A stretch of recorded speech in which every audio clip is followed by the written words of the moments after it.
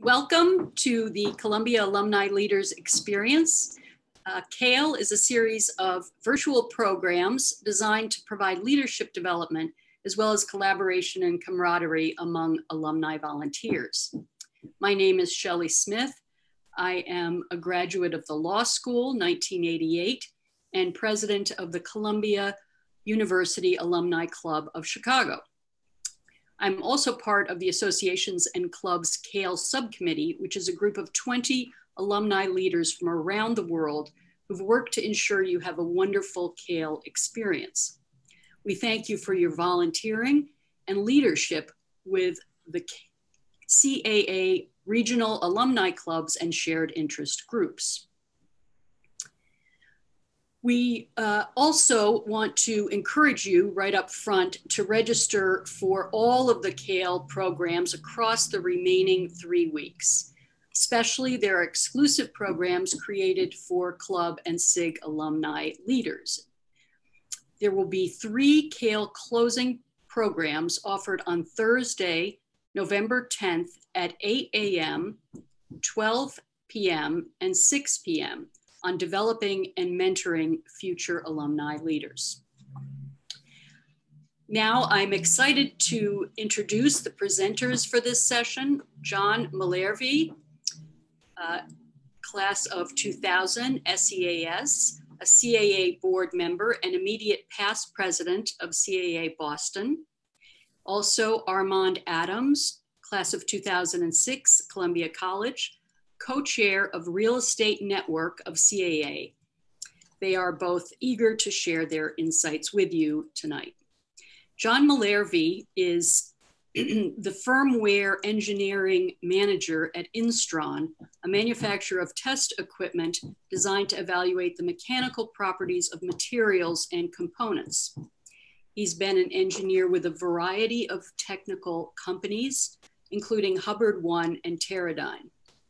John has an MS in computer science from Boston University and an MS in electrical engineering from Columbia, where he prominently involved, he was prominently involved rather with the Institute of Electrical and Electronic Engineers.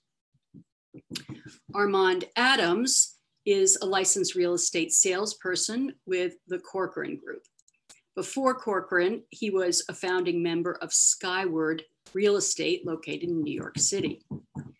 In his first year with the firm, he received the Transaction of the Year Award. Armand is also President Emeritus of the Black Alumni Council of Columbia University. He recently received the Columbia Alumni Medalist Award, Columbia's highest award for alumni. He resides in East Harlem and coaches Little League Baseball for Harlem and East Harlem. So, Maya, would you like to? Uh, yes, thank you. So, thank you so much, Shelley. Appreciate that, and thank you all for joining tonight. I just want to go over a few things before we start the session. Tonight's session is being recorded, um, so feel free to keep your camera on, or but please just stay muted uh, so that way we can hear our uh, speakers clearly. Speaker view, we find is the best way to experience uh, our sessions. And we would really appreciate hearing from you. If you have questions or comments, please uh, use our chat feature at the bottom and we will make sure that um, any questions or comments will be uh, addressed at the end of the program. Um, thank you, John and Armand, for, for joining uh, us this evening or um, I'm not sure if we have anybody that's in the morning time, but uh, thank you so much for, for joining us this evening. How about we start off with um, your thoughts, John, on what it means to be the rising leader um, in this organization? Thank you for everyone for the introduction, and thank you for calling in for what is tonight for me in Massachusetts. So last year at CALE, or was in Leaders Weekend, I gave a talk on why everyone should quit volunteering but I didn't take my own advice. And but that's why we're here is create organizations that can survive one leader moving on for whatever reason. So what Armand and I called a rising leader is someone who's just starting volunteering. And many leaders will never get beyond this point, and that's fine. And one thing you should also note is very often we hear new volunteers rising, sometimes think it's a young alumni. It need not be. It could be someone any phase of life or their career when they get involved with the club. And then they have to have the conversation. If you're a rising leader, how hard, hard do you want to rise? Many just want to be a board member. In Boston, we had a gentleman who just ran bowling events every year, and that's all he wanted to do, but he did it well, but never wanted to be president, and that's fine. But those who are interested in advancement should talk to the current leadership. And if you are the current leader, you should be talking to people who seem interested and have conversations about succession in public and private to see who who is truly interested and then see if they follow up because words are cheap but who is actually volunteering for events? Who is actually showing up at board meetings? Who is volunteer who is coming up with new ideas? And then be clear on when someone is volunteering to take a step up what they are signing up for. Do they have the time in their life after their family and career to do it? And you know challenge them to really think do you want to do this? And some people may turn away at that point and respect that decision you know they're doing the organization a favor if they realize they can't follow up. But those who do follow up on their commitments will be your you'll be your leaders of the next few years and decades. Now armand what are your thoughts? Thank you. Uh, so thank you john for passing on and thank you everyone uh, for joining. Uh, i want to talk to talk about this subject from a different perspective from a rising leader myself but as john mentioned looking for rising leaders as well. Um, I remember when I first joined the Black Alumni Council, I was coming out of college, just graduated uh, out of Columbia College. And I actually was the uh, senior liaison for um, the BSO, the Black Student Organization. And I basically, one of my major roles was actually putting on Black graduation. And what I did is I brought in uh, members of the Black Alumni Council to give the, the senior toast and uh, I happen to know two of the uh, members because they were uh, seniors at the time when I was a, a, sophomore and junior. So they came and, and, they gave the toast and they said, "Oh, you know, you're graduating. Look like you'd be a great member for a Black Alumni Council." I said, "Sure." So, uh, you know, with me staying in the city, I came in and they immediately, you know, within a couple months, they said, "Hey, we need a secretary. Do you want to be a part of it?" And again, having that great energy, uh, again, because I saw that it was a great opportunity to network and be a part of something that continued something that I left from college. I, I felt like I had a great opportunity to network and, and, be part of a community while in college, and I felt like this was only just a, a great transition, uh, graduating, being part of the Black Alumni Council, and continuing that um, rapport and continue that community. So I uh, became a sec- became a secretary, and then about a year in, uh, the president, who again uh, was named Kwame Adu, he was a senior when I was a, a, sophomore. He was he let me know that he was going to business school, and I said, "Oh, okay." So Jessica, who was the vice president, who also was in, in, in college at the time, um, I said, "Oh, so she's going to become president." He said, "No, she's going to law school." So I said, so who's going to become president? And he kept looking at me, and I kind of like turned around and see who is he staring at. so that uh, was my opportunity to become president, and I, I, see that you know they saw something in me as a rising leader, and uh, it was a great opportunity to become part of the organization. And as I rose, at, one point it was uh, just myself and Courtney Wilkins, um, who's CCO seven, that was part of it, and then eventually I, I brought in one of my uh, classmates um, Chris Jones, who be, eventually became the vice president, and Courtney uh, happened to also move to California. So it was just Chris Jones and I. And I saw opportunities to get people who involved. Um, at the time, we also were becoming a formerly a organization that was Columbia College based, and we were becoming a university-wide organization. I felt was important to not only find rising leaders um, just within your own community, but outside your community, because again, if you are becoming university wide, you need to represent that university wide. So, you know, becoming recruiting and going to different um, events, especially, you know, events like Cal, uh, Leaders Weekend and other Columbia alumni events allowed you to meet people and, and say, hey, you know, are you in New York? Would you, you know, you seem to be involved. Do you want to be part of Black Alumni Council? And, and, and as John mentioned, finding, you know, not throwing everything right on them at the time, but finding limited, uh, finding opportunities for them just to ease them in.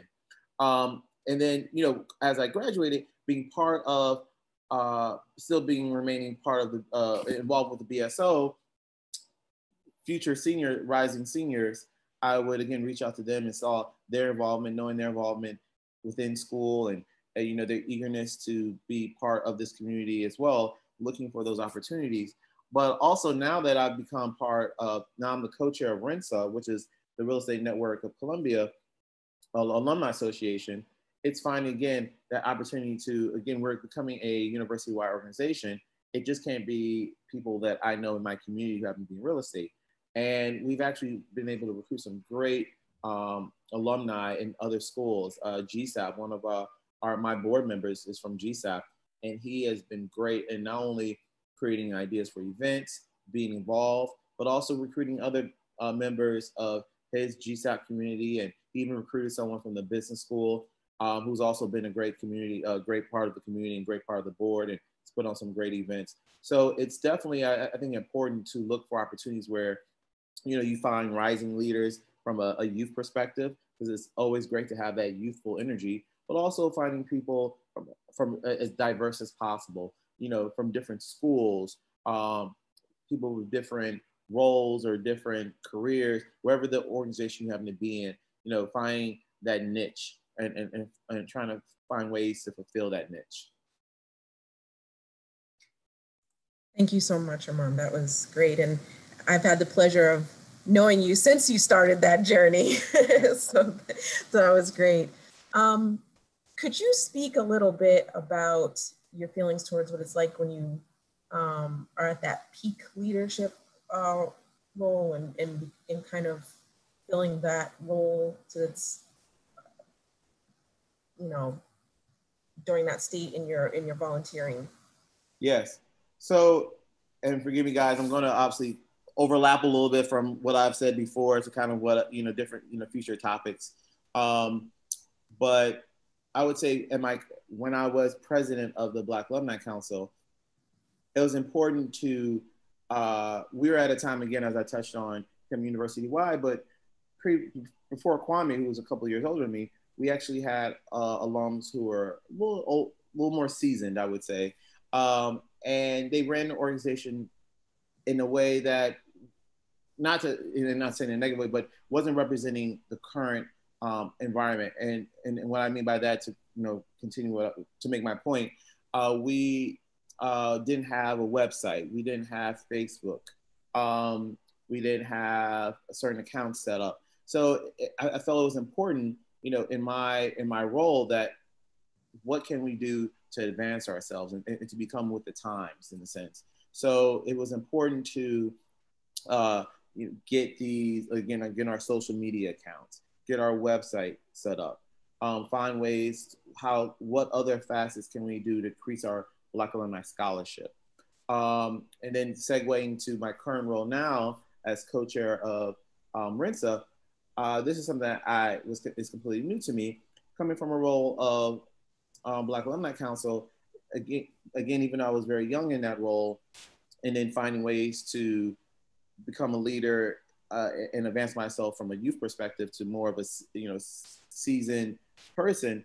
Now I'm starting an organization from scratch. Uh, RENSA is about about two years old now, um, and uh, thankfully with CAA and, and particularly uh, Jenna, uh, they had the trust in myself and my other co-chair Michael Sin to say, you know what, we're going to trust you to create a brand new organization, and doing so, it's finding you know, having the experience of the previous uh, things you've done with uh, the Columbia Alumni Association and, and, being part of BAC, but also having the experience of being involved in organizations uh, like, you know, being part of activities like CAL and, you know, going to these sessions and learning how to organize, what to do to strategize to have a, a, a field board, have a um, planning, having uh, a, a calendar set up. So you know that's one thing that's been a, a, challenge in a sense as well is you know finding starting from scratch but maintaining a consistent organization. Again um, again having the calendar set and making sure you're not only creating um, great events but diverse events that's going to keep people interested. You can't just have a networking happy hour all the time.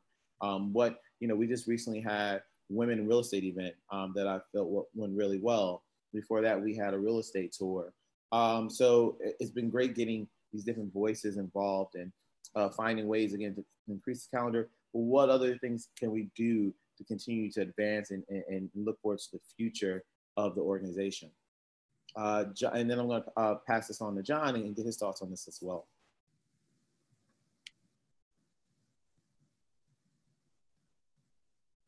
John, can't, can't hear you. Oh, I'm sorry. I, I thank you. anyway, um, when it when it comes to peak leadership, it isn't just being a SIG or club president. I think it's VP or maybe the title doesn't even matter. Heavy involvement. For myself, I think I spent the most hours ever volunteering for Columbia during the NationBuilder rollout, well, six or seven years ago than I did when I was actually the club president. So I would say I would call, quantify myself as a peak leader from them until I stepped down as CA Boston president. So I think you know you you know what you're doing when you're a peak leader, depending what your role. But one way to not burn yourself out and create a stable organization is to delegate, delegate, delegate. You know, pass stuff on. If you get promoted from VP to president, make sure the new VP is doing stuff instead of the president just consuming everything. Because we've seen many non-sustainable clubs where everything's done by one or two people and then they move on, the club just kind of loses coherence. And instead, by passing along, they'll take it along and then at a peak, you have to know, you know, show someone on the ropes. Year one, you do it with them. Year two, you watch them do it. Year three, you're you're moved on, but that's the next segment. Another thing is when you should when you are the president, you should always know who your successor is. That could change during your term, but you should always be able to point to this person could take over tomorrow and this other person could take over in an emergency. And ideally, you know who the president's the successor successor is if you're lucky to have a good enough pipeline. And one other thing I would encourage people as they rise up in leadership to peak is know how long your commitment is. Some clubs have fixed terms, and then that is convenient. You're president for three years and that's it. But clubs that are looser is know what you're doing it for. For myself, um, Boston has one year terms. So I said I when I got elected, I was going to do it for four years. Um, and I ended up only doing it for three because the birth of my second child but I knew when I started, I was not going to be a decade long president. I was just going to make my impact, do my best, and then move on and pass on. And fortunately, when I had to step down early, um, my successor was ready to go, and I was able to pass him the baton pretty effortlessly, and he's done a great job. And then next time, I'll talk about how to be the, the, the path leader when someone else is running the organization and, and how to run that. I'm just going to quickly, I'm sorry, jump in and say, I, I just want to double down on that with, with John uh, said, just definitely uh, making sure you delegate and and identify people to not only help but also to again take on the leadership as well. Uh, you know, just briefly adding to that, when I started an organization, I knew I couldn't do this all alone, and I identifying, you know, I, I had about maybe a handful of people, and then uh, just kind of in the process of starting an organization, Jenna and I identified a few more people, and I knew we had to get more people involved because again, it was all I would easily get burnt out. I feel sometimes even burnt out with having a full board. So you know, making sure you have people involved, and you know, I would say maybe out of the ten or so people that initially were I reached out to, um, five remain active, uh, and and that was expected. You know, I I didn't have the intention of going after five and, and expecting five to be involved um, I knew people were going to drop off because some of them weren't involved in NCA before. I know this is it, it is an, a, a transition for people who were never involved before to be in the CA space. Uh, you know, it, it is a, a acquired taste, uh, I guess, a lack of a better uh, phrase, um, to to remain involved with CA, to to whatever role you're in, whatever organization you're in, to maintain that activity, especially knowing like, hey, this is not a this is a volunteer job. This is not a job you're getting paid for. So it's going to take your energy and time. So it's finding those people. And again, they're going to have people that's going to drop off, drop off. But I, you know, having that expectation and identifying that. Thank you, Armand. John, you um, you're kind of our resident expert in being a, an emeritus leader and what that looks like and what it means. Um, could you just go into a little bit what it means for you um, and share your your thoughts on that? Um, I think one thing is, you know, no leave enough so they miss you. You know, um, some people, it's, it's to be fair to the next cohort of leaders, um, you know, make sure to give them room to breathe, to breathe and do their own things. Um, as as I uh, passed the baton, if you will, I told my successor he had permission to tell me to shut up or tell me to leave, no questions asked, whenever he felt I was in the way. He that hasn't come up yet, but I felt it was important to give him the reign to do that. Um, and that comes also in a more smaller case of you know when to talk and know when to be silent. And there have been times um, when, fortunately, our communications are mostly electronic. So, you know, I'm an email or WhatsApp, and I start typing a reply, and then I delete the answer because the new leadership's doing something different than I would. If I would have went north, they're going west. But it's a perfectly fine idea, and I don't say anything. At the same time, they they know how to reach me, and they have asked me questions. How do you do this? It could be technical stuff in nation, NationBuilder or advice on how, you know, are you how to do this or that. And just because you're an emeritus leader with one club doesn't mean you're an emeritus leader from Columbia. For in my own case, I'm on the CA board and we'll be the 2023. So by stepping away from one role, I was able to focus my volunteer energy on another role. And and that's the way, you know, Armand's, you know, was involved with one organization, now he's in another. And again, you know, volunteer organizations are, short, or can, are shorter than careers. So you very easily can spin back around. You know, you could imagine, you know, maybe I'll be the elder statesman running being the club president in 2040. I don't know. Um, but you should um, always be available and primarily always, you know, not be there, but be available. That's my, that's my thought. And Armand, what do you think? I love the phrase "make sure you do enough to make the, make sure." I'm, I'm sorry, I'm not going to paraphrase right. Make sure they miss you a little bit when you leave. I love that because I still sometimes uh, you know, uh, watch over the shoulder BAC, like, hey guys, like, like I'm here in case you have a question, you know, like, how's it going? Is it, uh, so I want to, you know, but to your point though, as much as you want that, you still one be able to step away. Um, uh, similar to John, um, before I became part of RENSA, I transitioned from being uh, president of, BAC to also being on the CA board as well during that that time. So I was still, you know, very much involved in the CA community, but again, you know, taking that step back from the BAC, but still being involved. I, I went to um, all the events, um, majority of the meetings. Uh, actually, Kevin Matthews, uh, the former president at the time, actually even create a role for to be on the board as uh, advisor slash president emeritus. That's actually was a role, and I, I thought that was great because he he realized you know it, it takes a village. Uh, sometimes the past village. And it wasn't just even my insight or, or, or Chris Jones's insight. He had uh, Judge Greenaway, and George Van Amson as vi- advisors who were past presidents and you know very much esteemed leaders uh, who were um, involved and, and, and, kind of basically were the founding members and, and laid a tremendous groundwork for the BAC. And I, I think it's important to incorporate and advise. And, and, I did so with those leaders as well. Uh, reached out to them, got their thoughts, um, and I felt it's important to do so as well. You know, not right now. It is a little bit of a harder transition to be remain as involved as I was before. Now being a leader in another organization, but um, you know, more so speaking towards that that trend that time period of you know, being a CA board and just kind of stepping away. I, I felt it was important again to be involved. But again, just kind of from an out, outlook, be available for questions they ask. I definitely got a lot of emails about, hey, what's the password to the bank account, or you know, who's who who's the past treasurer, whose name is on this, you know, things like that. You know, it's those little things I was available for. But also, yeah, I remember one particular situation where, again, also being involved in the CA board, uh, it was approached me where what was where we might have been kind of somewhat of a let's say a, a, a, wall or kind of a, like let's say dead end um, with a scholarship uh, where you know we were uh, raising money but how could we take it to the next level?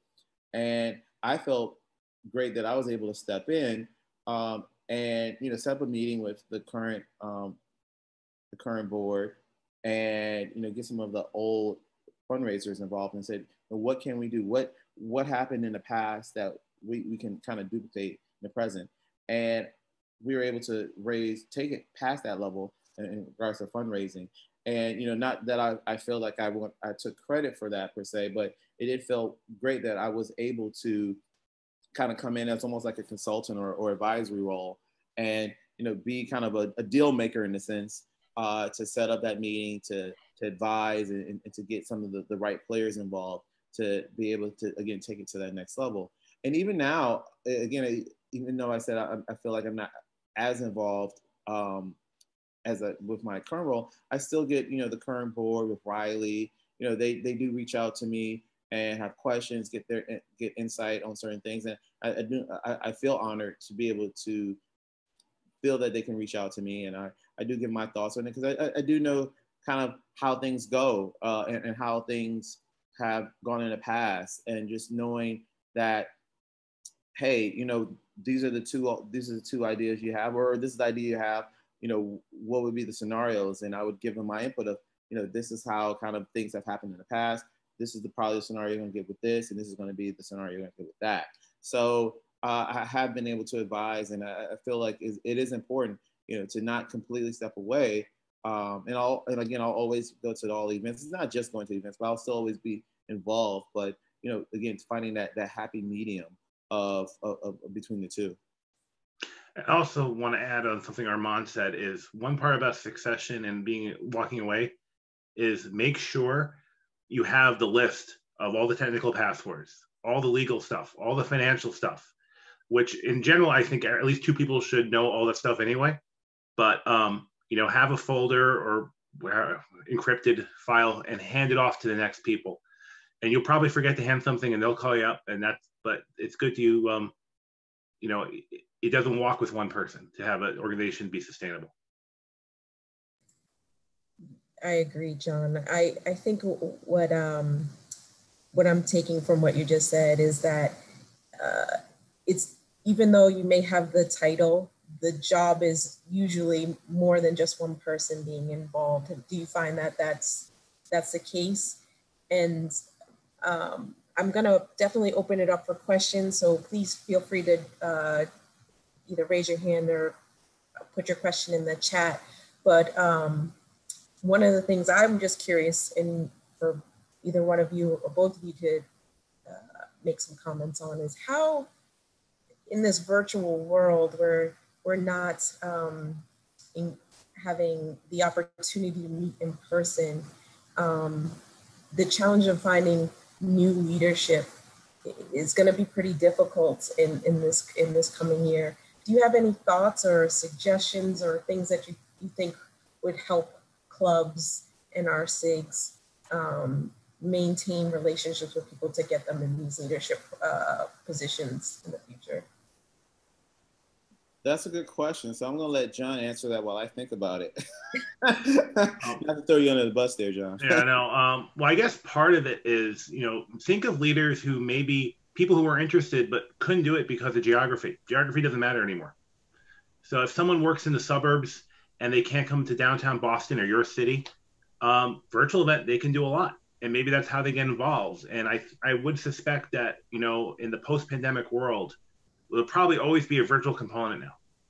So, you know, get people involved that way. See who answers. Use this chance for renewal. Maybe there are people who are on every virtual event. Reach out to them. See if they're interested in helping out. Do they have ideas for virtual events? You know, and um, you know, make sure you get you know contact, email, text message, your medium of choice. You know, and then whenever we can have in-person events, throw a really big event uh, think uh, to John's point, I agree. Um, I think it's definitely important to diversify in regards to reaching out to uh, as many people as possible because it's no longer just, you know, again, for Rensa, starting off here, we are uh, a, a, New York based organization, but we don't have to be. Um, you know, it's real estate network could be for anyone. And, and you know, when I envisioned Rensa, I, I imagine it, you know, starting uh, kind of locally, but opening it up, eventually having a Los Angeles uh, sector and having a, a Los Angeles group or and having a Chicago or you know Boston, wherever it may be. So you know, this is the opportunity to do so. I do have some people who want reached out actually through the SoCal to say, hey, they want to put on something in regards to real estate. And, and again, having these connections and working with other organizations, you know, especially through Cal, uh, the Cal leader, uh, through uh, Cal, um, the SoCal president and, um, and vice president reached out to me and said, hey, you know, is this something you want to partner on? So, you know, we have someone in, in Los Angeles now. Um, I wouldn't be so quick to just say, okay, they're going to start the organization, but start off by having them put on an event, seeing their involvement. Um, and I, also my point I was going to make, and John can actually uh, touched on a little bit. It's all about programming as well.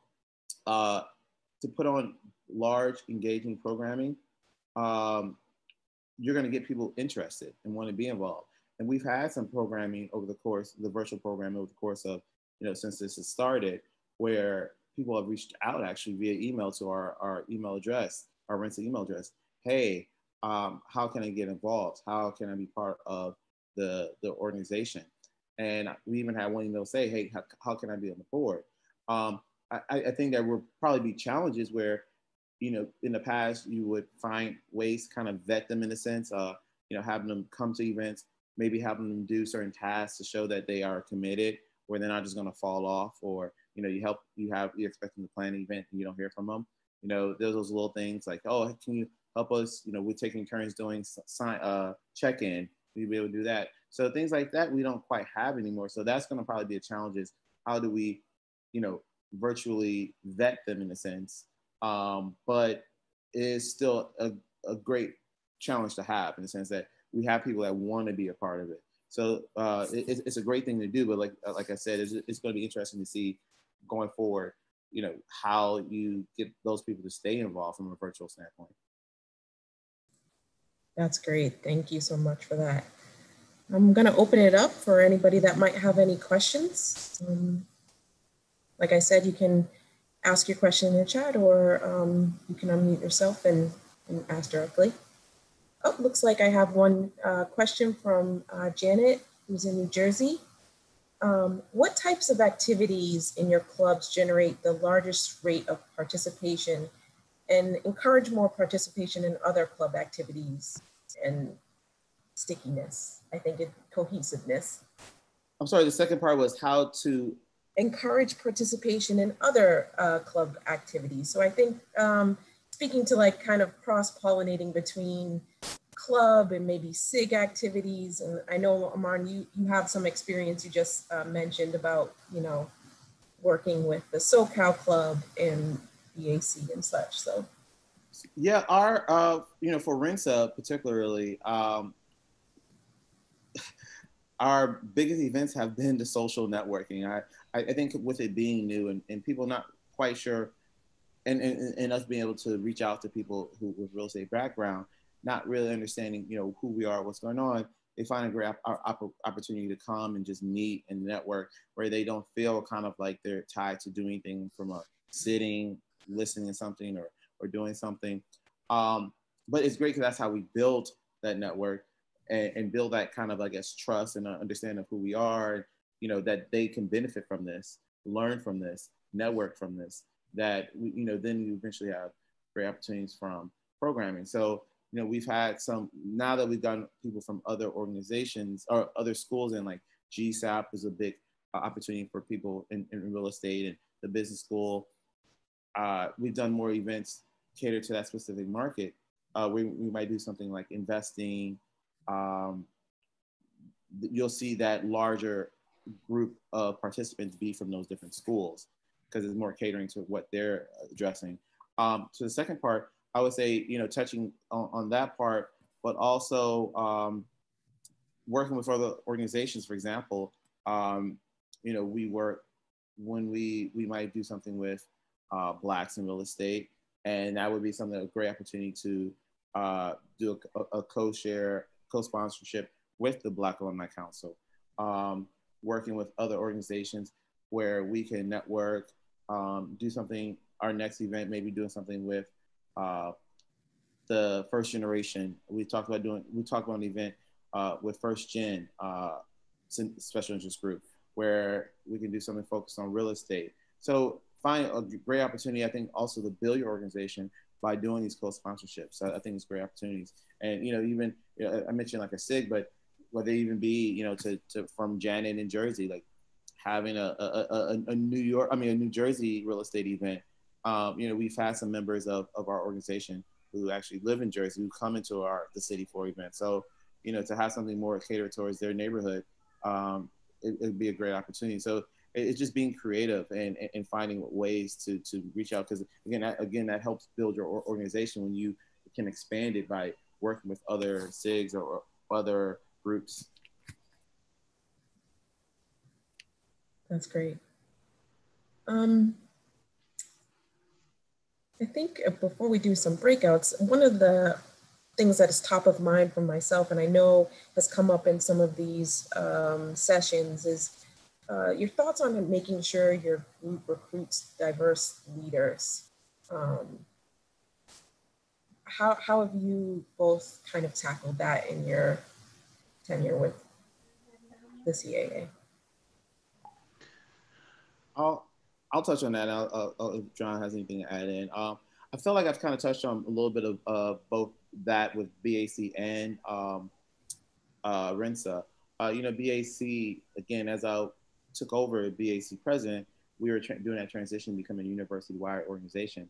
I felt it was very important to have a representation of uh, all the different schools, uh, teachers college, um, business school, law school, um, and then also having different years. Uh, you know, it's, it's somewhat known, um, or at least uh, amongst that commu- this community, uh, the AC community, that the classes of uh, 60s and 70s didn't have the best experience at Columbia. So they didn't, they weren't really involved, and they actually were doing their own thing. Um, they had a, a, a, event called Jam, uh, where it was uh, the classes of the the late 60s and early 70s that would go to different cities and have a bigger group and getting you know some of those leaders of that to be involved with BAC and uh, you know that becoming a, a, a co-event where BAC was then involved.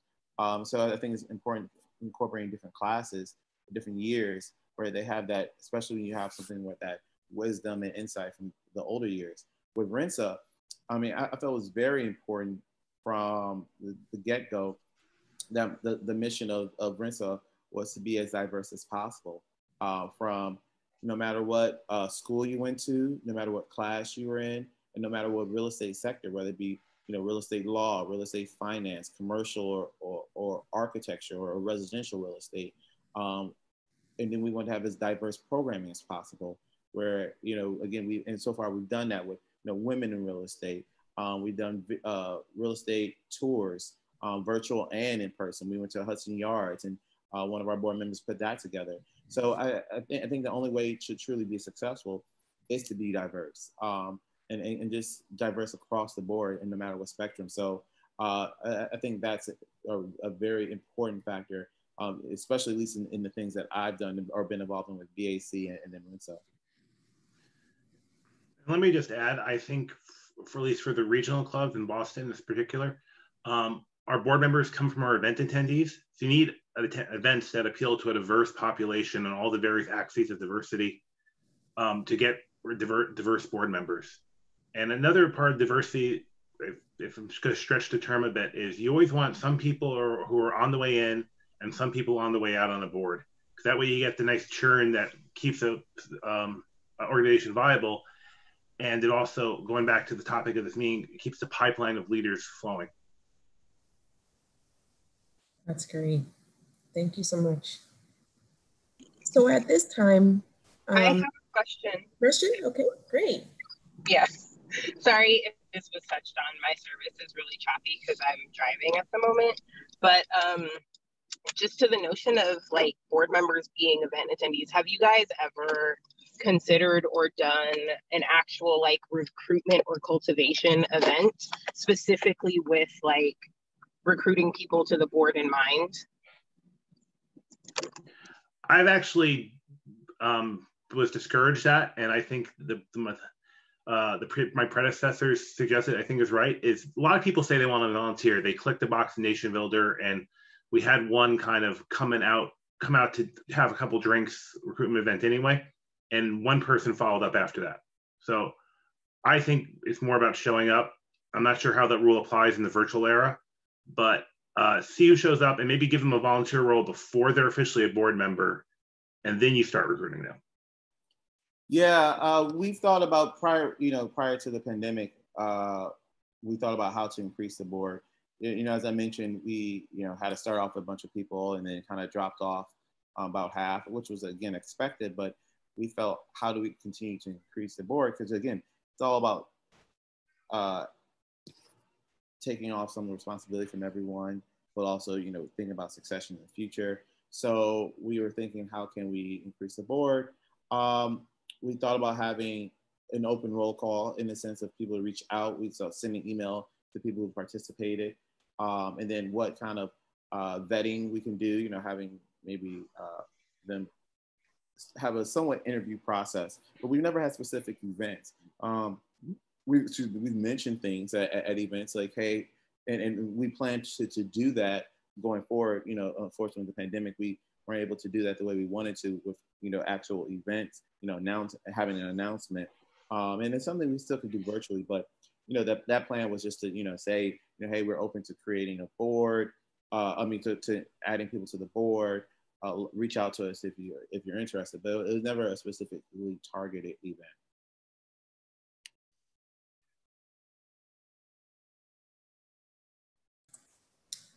It looks like a few comments that um, Stephen said in London has done an open board with some success. Um, I'm I'm happy to chat about that. I, I didn't realize we'd be on camera, so I'm not camera ready as it's almost midnight here in London. Um, so the past few years, and this actually came out of a leadership weekend, was that London has started doing at least once a year an open board. And what we do is we just invite anybody that's interested in learning more about what we're doing as an organization to come and join uh, and, and just sort of, we, it's not really a pitch as much as it is just sort of an update, an annual update. But from that is we ask if anybody's interested in leading or um, organizing an event that might be uh, particularly uh, personal to them. So I think, John, you'd mentioned somebody just did bowling events. And from our open board, um, we have somebody that just does tennis events. Um, so she plans three or four of those just over the course of the year. And that's all she wants to do, and that's fine. That's that's one less thing that Courtney and I have to to manage. Uh, we've also gotten somebody to uh, lead CVC uh, and and start the London chapter. Uh, someone to help with social media. Someone to do some of our um, arts and, and theater type uh, events um, when we were still meeting in person. So we found it to be a, a good recruitment tool just to, to gauge interest um, and hopefully from that we'll use it as a feeder to to other positions. Um, so again, it, it really depends on the, the club and, and the region that you're in if, if that would be a successful pathway. Thanks, Stephen. And I want to clarify that my question was, I missed part of what Armand said because internet, but um, part of the my question and the reason I asked it is because I feel like a lot of times, particularly with SoCal, um, when we think about expanding the board or diversifying or finding new people to be in that pipeline for leadership, it can be really difficult because we're pulling from our own networks. And um, you don't always know great people who could be on the board um, just because there are so many. We have like 11,000 people in NationBuilder or something absurd like that. So we can't know all 11,000 people and we can't know their level of interest or capability. So I was just curious if there were um, other ways that people were finding people outside of their own circles who could potentially be in that um, pipeline for succession. So thank you. Thanks, Courtney. That was great. At this time, um, I have set up some uh, breakout rooms for you all to uh, get a, a, chance to, to have some conversations, maybe share um, anything that you've learned throughout CALE so far, or if you have questions um, for Armand or John, you can um, you can you can ask in this case. Uh, so I'll, I'm going to put you out in the breakout rooms, and then we'll come back and, and close out. Thank you so much. We'll join again in a moment.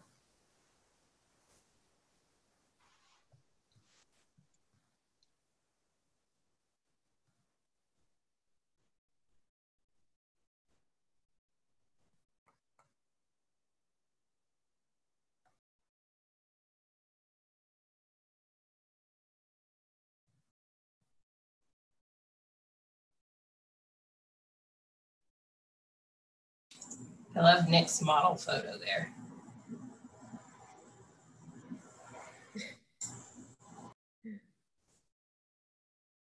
Hey, hey. Just trying to make sure I, everybody that uh should have joined, joined to have a good conversation or at least uh, start one. We know that the, the time constraints doesn't give us as uh, optimal of a situation as we would have if we were in person, like Armand and Steve said, where we could uh, share, um, you know, our stories and drinks and, and such. But uh, hopefully this will this will be um, in the past and we'll get to spend time with each other in, in the new year. Um, I want to just take this opportunity if anybody has any last comments or questions before we close out the program. Um, Armand and John, thank you so much for, for sharing uh, all that you shared with us this evening. Um, you gave us a lot to think about um, in terms of just the different uh, points of view that a that a leader has throughout their time. Um, John, you mentioning that even though you may not be the president of, of the, the club you originally started your journey, there are other opportunities to to share and, and, and engage with the Columbia University family. And, and I think that was a, really um, important thing to, to keep in mind. So with that, I, I want to thank you both. I want to thank everybody on this Zoom for joining us. We really appreciate it. This has been a journey. We have one more week of, of CALE celebrating, um, but it has truly been a pleasure seeing all of you um, each week join in for the programs that you have. Um, so I want to thank everybody. Thank you, everyone, and, and thank uh, thank you, CA staff, uh, Mia, Melissa, uh, Nick, uh, everyone for helping put this together. I really appreciate this, and, and this has been great. Uh, you know, I wasn't sure how this is going to be, you know, versus being in person, but you guys have been a great job making this, you know, virtual. Yeah, well, and thank everyone. Um, I pass second all those thanks, and thank you all all who um, virtually attended and giving us an hour of your time this evening or morning or afternoon, depending where you are. And um, have a good rest of your day or night. Thank you, everyone. Have a good one. Thank, Thank you. you. Bye. Thank you. Ciao.